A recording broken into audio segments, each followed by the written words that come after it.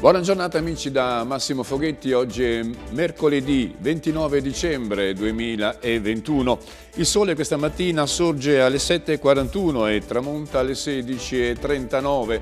Oggi si festeggia un santo particolare, un santo che appartiene al Vecchio Testamento, ma è un grande santo, ovvero si festeggia Re Davide. Davide, il ragazzo che uccise in un eh, duello il gigante Golia, che fu re che fu un grande re, ma fu anche un re peccatore, fu un re eh, poeta, eh, fu l'autore dei salmi che ci sono nella Bibbia, fu, dicevo, un grande peccatore che poi si pentì eh, e chiese perdono a Dio. Un santo dunque da riscoprire nel leggere la Bibbia. E vediamo ora le previsioni del tempo. Questa mattina su Fano il cielo era sereno e brillava uno spicchio di luna. Ci saranno nubi irregolari sulle Marche nella giornata di oggi, specie in avvio della giornata, ma in un contesto ovunque asciutto. C'è anche un lieve eh, rialzo termico, insomma non è più freddo come nei giorni scorsi. Le temperature oscilleranno tra i 10 e i 7 gradi.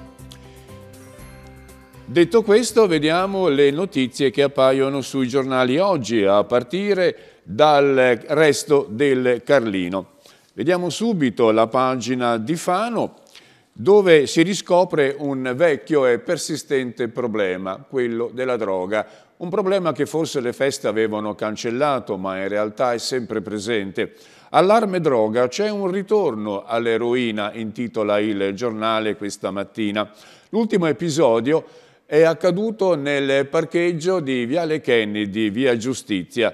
Un'overdose nel parcheggio tra le vie Kennedy e della giustizia, ecco la mappa dello smercio in città. Ebbene, il caso eh, riguarda un uomo che è svenuto in seguito ad una overdose nel parcheggio appunto eh, nei pressi del cimitero. Si tratta di un uomo di 53 anni, soccorso dai sanitari del 118 del Santa Croce di Fano, L'uomo che in un primo momento appariva in condizioni critiche è ora fuori pericolo grazie alle cure dei sanitari, ma il problema rimane. Quanto vi ho detto è accaduto alle 12.45 di lunedì scorso all'interno di una roulotte parcheggiata appunto nel parcheggio. E a fondo pagina abbiamo anche una dichiarazione del responsabile del CERT fanese Mazzoli Giovanni Mazzoli. Un incremento delle persone in cura evidenzia. Il direttore del Servizio Territoriale delle Dipendenze Patologiche dell'ASUR afferma che molto spesso lo stupefacente viene associato alla cocaina. Insomma, l'eroina rimane ancora la sostanza più usata, ma sono cambiate le modalità di assunzione, ben diverse da quelle di qualche decennio fa. Adesso prevedono l'inalazione, invece della iniezione endovenosa come in passato.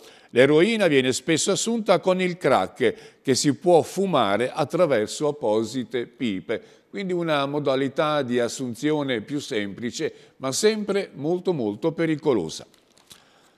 Carnaroli sul porto, un pugno in un occhio. Ci sono polemiche sull'ultima decisione del Consiglio Comunale di Fano che si è riunito prima di Natale per quanto riguarda la previsione di un nuovo cantiere che si installa nella zona uh, portuale, un cantiere della cantieristica che aumenta di molto le previsioni in altezza rispetto a quelle che erano originarie. Insomma, da 14 passa a 24 metri.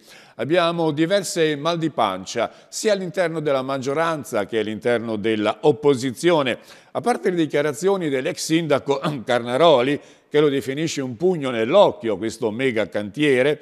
Eh, qualche perplessità la evidenzia anche l'assessore Mascarin, perché il TE non l'ha votato, insomma è uscito dalla giunta prima che si votasse. Il tema non l'avevo approfondito eh, abbastanza, ha detto Mascarin, per cui ho preferito uscire eh, dalla giunta.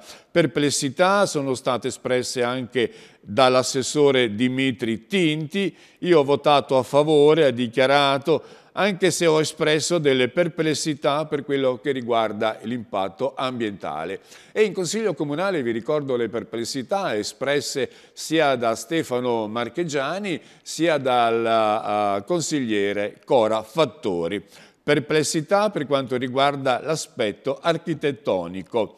Eh, secondo punto è la procedura di come si è arrivati alla variante, eh, cioè eh, che Wider subentrava nella concessione eh, eh, rispetto a quella che era prima. Che significa questo fondo dell'articolo pubblicato dal Carlino? Significa che ci sono perplessità per quanto riguarda eh, l'aspetto oh, estetico Uh, l'impatto ambientale di questa nuova costruzione all'interno del porto e soprattutto le modalità di subentro di questa nuova società, la Wider, che ha detto che farà l'investimento solo se la Giunta approverà questa variante, che poi insomma proprio una variante non è in quanto modifica soltanto alcune cose di carattere urbanistico. Il maggiore sostenitore invece dell'investimento è il vice sindaco e assessore all'urbanistica Fanesi.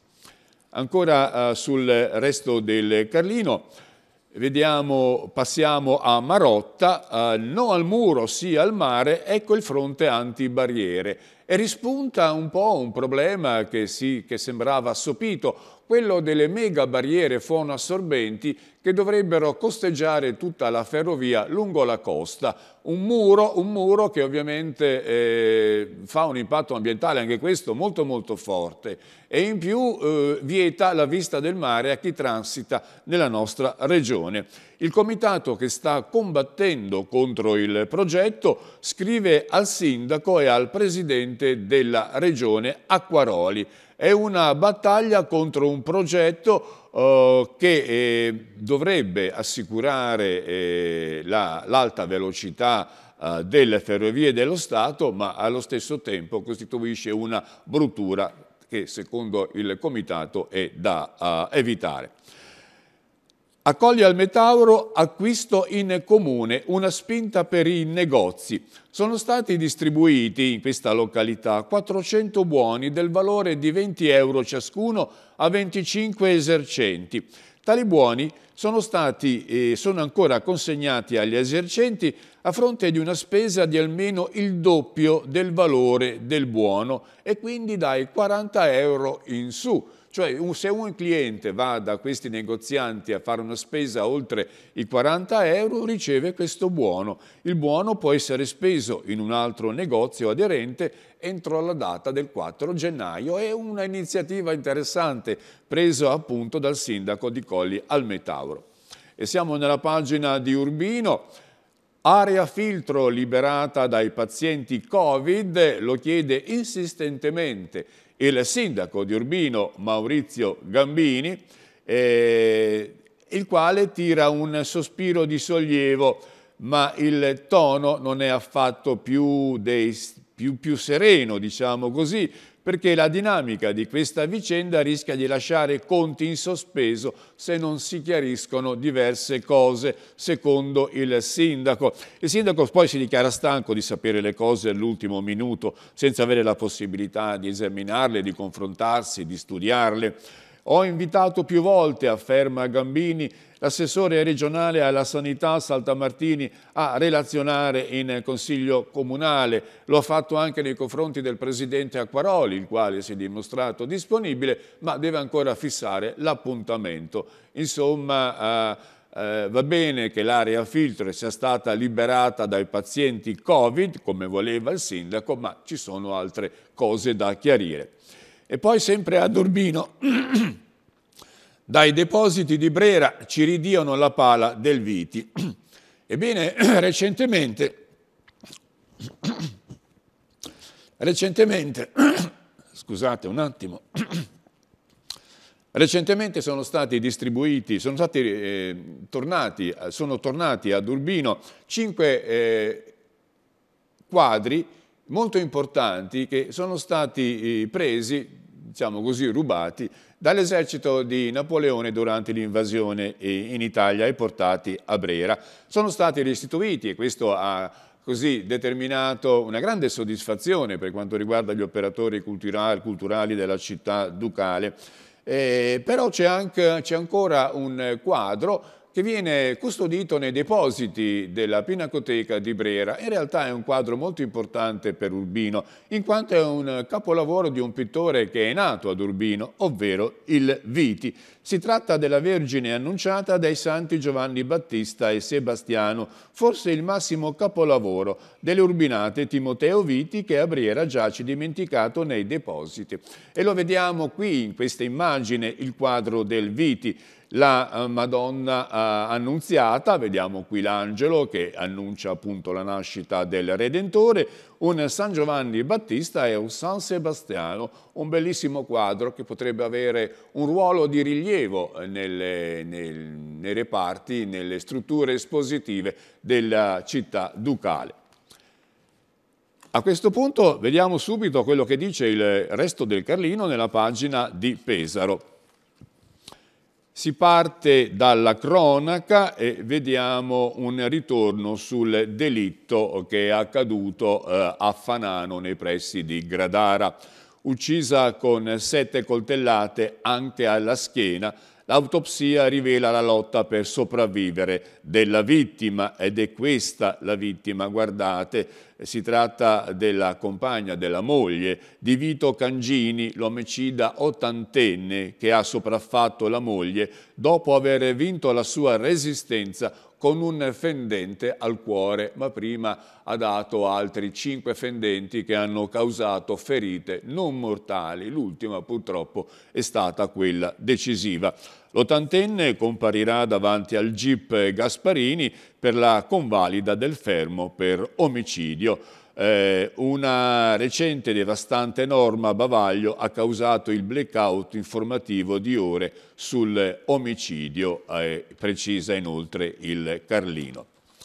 Troppe file, stop, vaccini per chi non prenota, accesso diretto garantito solo alle prime dosi. Quindi oggi si cambia uh, a Muraglia le ultime file per chi voleva la terza iniezione ma tutto il mese di gennaio è già occupato. Ebbene, senza prenotazioni potranno recarsi a vaccinarsi soltanto chi deve fare la prima dose. Gli altri dovranno eh, tutti, va, tutti prenotarsi e questa è la novità che annuncia appunto il giornale per quanto riguarda la vaccinazione.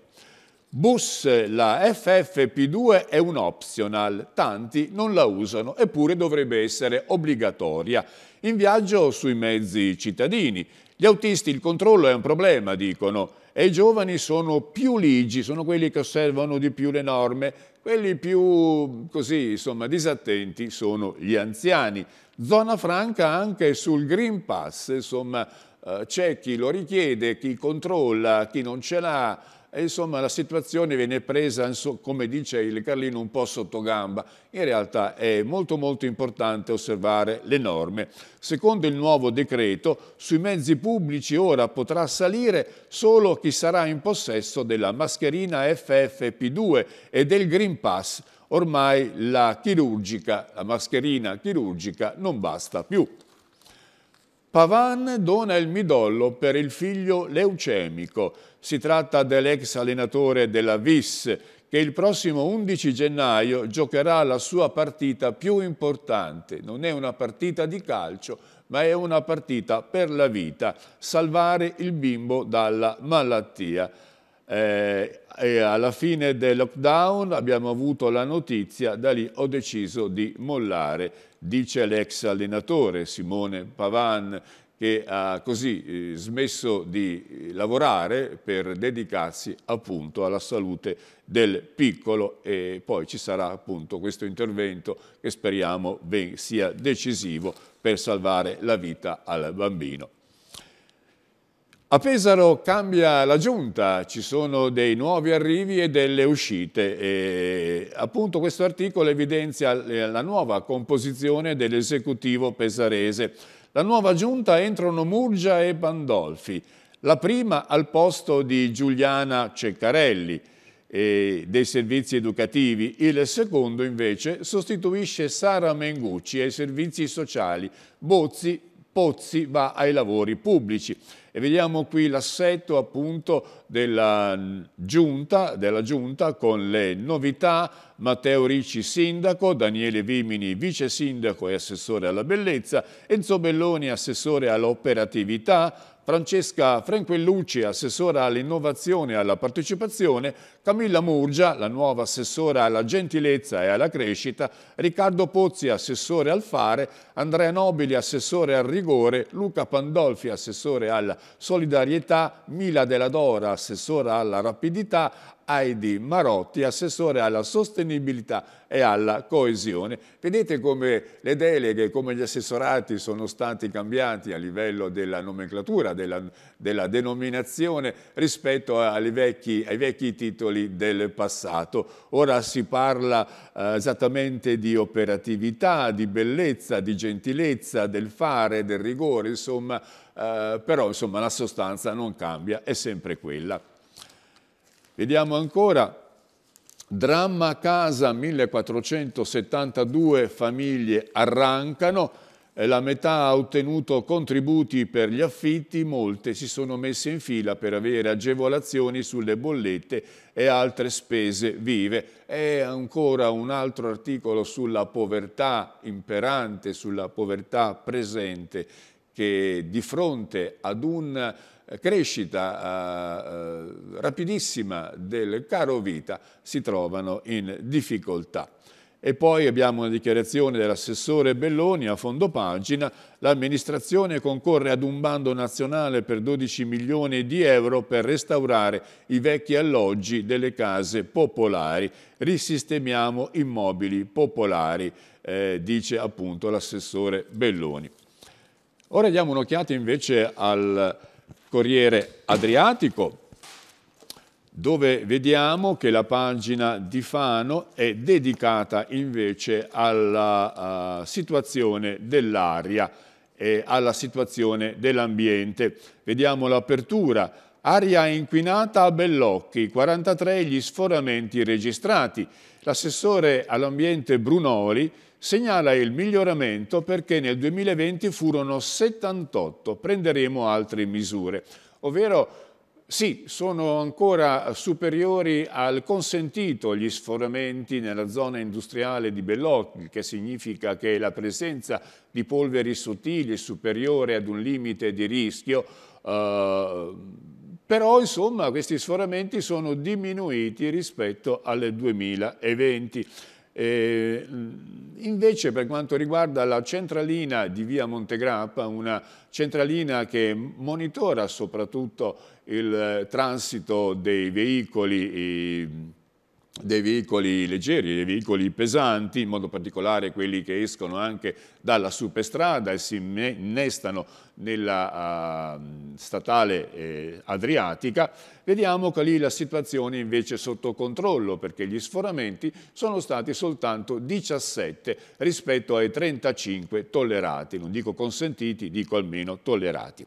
Un'altra bella notizia è quella che eh, da ieri è apparso sul eh, albo pretorio oh, del sito del comune il bando per la realizzazione dei lavori della grande rotatoria del Codma, un incrocio molto molto pericoloso, quello che esiste tra le vie, eh, tra le vie appunto che, danno, che, che, vanno verso la zona industriale, perché lì si sono verificati molti, molti incidenti. Due rotatorie nell'incrocio pericoloso del Codma, sopralluogo del sindaco e assessore per illustrare il bando pubblicato ieri. E qui vediamo il sindaco eh, Massimo Seri con l'assessore ai lavori pubblici e viabilità Fabiola Tonelli e l'assessore alla polizia locale Sara Cucchiarini. Una crocevia con più incidenti che dovrebbe essere resa più sicura eh, con questa realizzazione. Si pensa che i lavori dovrebbero iniziare intorno a Pasqua, insomma in primavera. Rimborso spese per i volontari in servizio all'hub vaccinazioni. Al club Mattei 21.000 euro dei 40.000 per le attività socio-assistenziali. E in questo articolo c'è l'elenco di tutte le associazioni che per quello che hanno fatto hanno ricevuto contributi dal Comune. Sono 19 in tutto i beneficiari, 19 le realtà che hanno concorso alla distribuzione dei fondi e che sono state tutte ammesse, alcune delle quali già gratificate per altro genere di progetti. Sono stati erogati complessivamente dall'amministrazione comunale 39.300 euro che però più della metà, 21.000, sono stati concentrati, come abbiamo detto, al CB Club Mattei, quello della protezione civile. Nel Consiglio di Natale tre pacchi per i fanesi è un articolo che riguarda le rimostranze del Movimento 5 Stelle per quanto riguarda l'ultima seduta del Consiglio Comunale. Si tratta di una posizione contraria alla mozione del consigliere Carboni per quanto riguarda la sanità, eh, quell'altra alla variante proposta dall'assessore Fanesi per il nuovo cantiere della cantieristica al porto e infine la persistenza dei fanghi di torrette a Fantasy World nonostante che ormai, quant'è, dal 2000 eh, 2011 mi sembra, insomma eh, da tanto tanto tempo sono lì e dovrebbero essere rimossi, invece la loro, la loro persistenza viene prorogata di anno in anno. Questa volta non è colpa del comune, è colpa della ditta che dovrebbe prelevarli e portarli nella cassa di colmata di Ancona che è stata esclusa dal, dal, bando, dalla, insomma, dalla graduatoria e quindi ha avanzato un ricorso al TAR. A Isola del Piano un rilancio operativo e lavori per la fattoria della legalità. In questa associazione sembra che presidente dovrebbe essere Lorenzo Alessandroni, che dovrebbe prendere il posto di Michele Altomeni, che è uno dei fondatori. Dobbiamo ripartire dopo la, dopo la pausa del Covid, ha detto Alessandroni. Invece a San Lorenzo in campo si parla di lavori pubblici, un bando per assumere due tecnici addetti alle macchine operatrici. E quindi il Comune di San Lorenzo ha avviato anche la messa in sicurezza del ponte per il cimitero. Si tratta della sistemazione della strada, sempre molto molto trafficata, che conduce dal cimitero di San Lorenzo in Campo al confine con la provincia di Ancona e il comune di Castelleone di Suasa. A comunicarlo è stato il sindaco Dell'Onti. E poi abbiamo anche una notizia che viene da Senigallia, via Mamiani sottopasso Carrabile, si punta al nuovo accesso al porto. Il Comune chiede altri sei interventi nell'ambito del progetto di velocizzazione della ferrovia adriatica ma vediamo anche che Ponte degli Angeli è ancora senza il pilomat, quello che alzandosi ehm, è andato a incastrarsi sotto una macchina, il ponte resta chiuso alle auto. Forse bisognerà aspettare fino a metà gennaio per vederlo riaperto. Ancora qualche notizia per quanto riguarda Pesaro. Vediamo che il Corriere Adriatico desta la sua attenzione ai problemi dei ristoratori, in modo particolare per la fine dell'anno, sindrome da disdetta e c'è chi ha rinunciato al cenone di fine anno. Diversi ristoratori di Pesaro, ma di tutta la provincia, hanno deciso la cancellazione dei pranzi, delle cene a ridosso del Natale. In ogni modo per la categoria non sarà peggio del San Silvestro 2020, quando la situazione era ben più grave di quella attuale. Con la chiusura dei locali però insomma eh, c'è un'altra categoria che protesta ed è quella dei, dei proprietari, dei gestori delle discoteche. In questo caso viene evidenziata la rabbia, così intitola il Corriere, di Arzeni, Marco Arzeni, portavoce del SILB, per le discoteche serrate fino al 31 gennaio. Eh, per loro niente feste per tutto il fine anno 2021 e anche per tutto il mese di gennaio, quindi ancora danni economici per questa categoria. L'anello ferroviario rimuove l'isolamento infrastrutturale. In questo articolo Lorenzo Furlani evidenzia quali saranno i progetti delle ferrovie dello Stato per collegare le Marche con il resto del paese, in modo particolare per il centro Italia. E la Regione vuole recuperare lo storico tracciato distrutto nella Seconda Guerra Mondiale, ovvero la connessione con Fabriano e Orte, che rafforzerebbe la sostenibilità economica della Fano Urbino. Fano Urbino che, pur essendo oggetto di polemiche per quanto riguarda il contrasto con la ciclovia metaurense, vediamo che sempre sul, sull'emergenza lo vediamo sempre al, alla ribalta. Ebbene, l'anello ferroviario in fase di progettazione da parte della Regione e delle Ferrovie dello Stato dovrebbe collegare i centri della costa con i territori interni delle Marche attraverso un tracciato che, staccandosi dalla linea adriatica, arrivi a Civitanova Marche fino a Fano, sdoppiato dalla Falconara Orte con il tratto fino a Fabriano e se si ripristina il tratto tra Pergola e Fabriano e ovviamente tra la ferrovia eh, Metaurense e Pergola, allora andare a Roma sarebbe molto più agevole e ci vorrebbe meno tempo. La squadra di Ricci con i nuovi volti, Murgia e Pandolfi, nuovi assessori, qui vediamo la nuova compagine esecutiva del comune di Pesaro, Mentre ancora in questa pagina il fatto di sangue che ha funestato le, le festività natalizie e qui vediamo la foto sorridente di Natalia, la cuoca, mentre faceva il suo lavoro di cuoca nel ristorante romagnolo e qui vediamo la casa del delitto nel centro di Fanano, appunto nel comune di Gradara. Vaccini, stop all'ammasso agli hub Magnoni, rispettare regole e file. Il blocco ai non prenotati da oggi si è reso necessario per l'impressionante calca di lunedì e lunedì veramente è successo il caos, ore e ore di attesa per le vaccinazioni e appunto nei centri deputati.